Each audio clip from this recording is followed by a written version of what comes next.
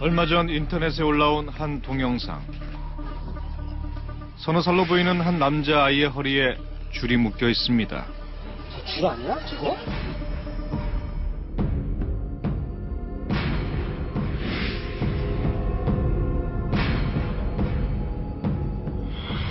묶고 강아지도 아니고 이렇게 줄을 묶어가지고 애를 끌고 다니니 그게 뭐야?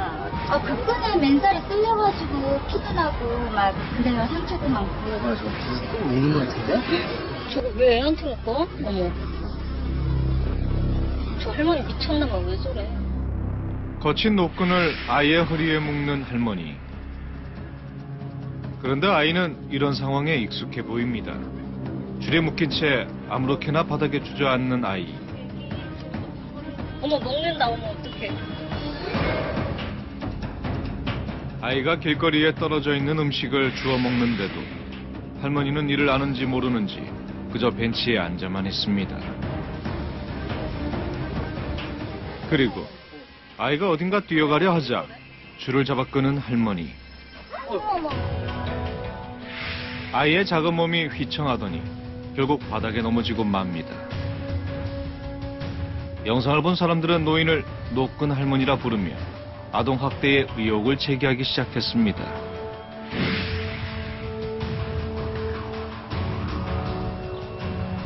그런데 영상 속에서 우리는 노끈 할머니 주변을 맴도는 또 다른 아이들을 발견했습니다.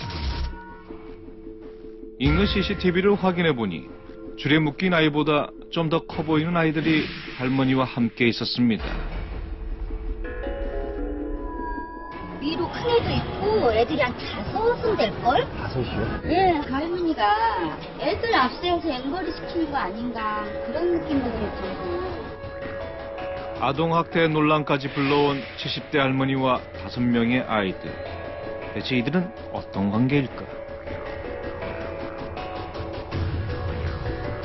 전부 다 친손 주고 아이들을 학대한 흔적이 없었어요.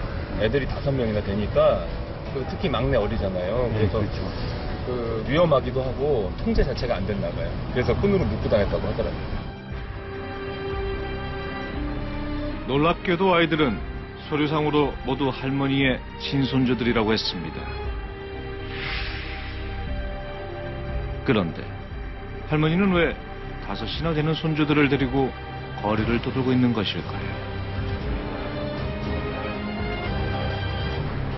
10살이래요 할머니는 안 하는데 집안일도 웬만한 거 다 하는 것 같은데요 아, 애들 일도 시키고 돈도 벌게 하고 막 이러려고 애들 데리고 있는 거 아닌가 조금 그렇기는 해요 할머니 그뭐 행색도 초라하고 거창할 것도 없어 보이잖아. 근데 그 할머니 뭐 돈은 많은가 보더라고. 돈이요? 그 할머니가 원래 허리가 안 좋으셔가지고 뭐 일도 못 하시는 분이거든. 무슨 일이 있어가지고 은행에서 전문을 다 하더라니까. 아이가 그 할머니한테 돈을 다 주더라고. 아 근데 그거 이상하잖아. 뭐 애가 무슨 돈이 있어서 할머니한테 오히려 돈을 줘. 할머니가 돈을 줘야 맞는 거지. 아이들을 이용해 돈을 벌게 한다는 의심은 이때부터 시작됐다고 합니다. 누나 이렇게 아이고 아이고 현우야 할머니 좀 테니까는 미니 줄 풀지 않게 잘 돌보고 있어 네.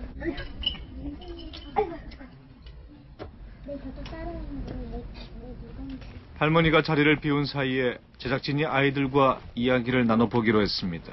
얘들아 안녕 안녕하세요 내가 나이가 어린데도 뭐 동생들 세수도 시키고 기저귀도 갈아주고 빨래도 하는데 힘들진 않아? 그냥 원래부터 하는데요. 그럼 할머니는 아무것도 안 해? 할머니는 허리하고 다리가 너무 아프세요. 간절 여기가 아파서 빨래하면 안 돼요. 아, 할머니가 편찮으시니까는 현우가 다 알아서 하는 거야? 네, 어, 우리 현우 착하다. 감사합니다. 놀아. 과연 아이의 말이 사실일까요? 누구야? 아, 예. 안녕하세요. 그 저희는 그 채널 A라는 방송사에서 나왔습니다. 가족분들이라든지 자제분들이라든지 아 왜 그런 거 그냥 자세히 알려고 그래 아 무슨 사정이 있나 그렇게 생각하면 될 것이지. 저를 좀 도와드릴 수 있지 않나 싶어가지고 아이고 아이고 안 도와줘도 돼요. 아 괜찮으니까는 아, 우리 먹고 살 돈도 많으니까 어여 가요. 아이고 아, 염려마가 어서 가. 아 가려니까 그 무슨 남의 사정을 그렇게 붙고 또 알아요. 아니, 할머니 좀만 얘기 좀 해주세요. 가라고. 아, 예, 예. 관심도 도움도 필요 없다며 취재를 거부한 할머니. 대체 이들에겐 무슨 사연이 있는 것일까?